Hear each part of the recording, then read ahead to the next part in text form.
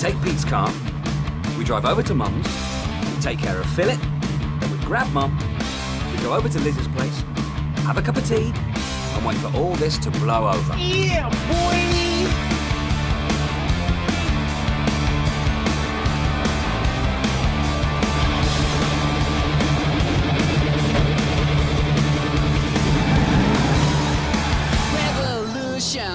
solution. We're gonna take it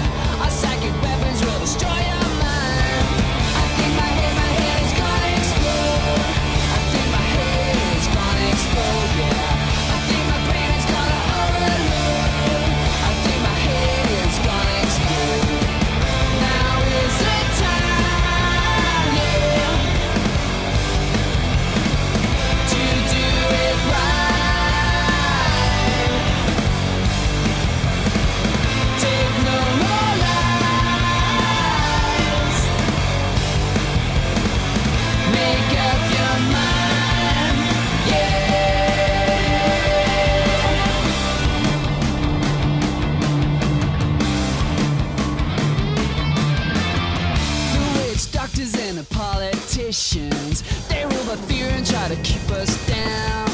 But they can see that these conditions will spark a fury.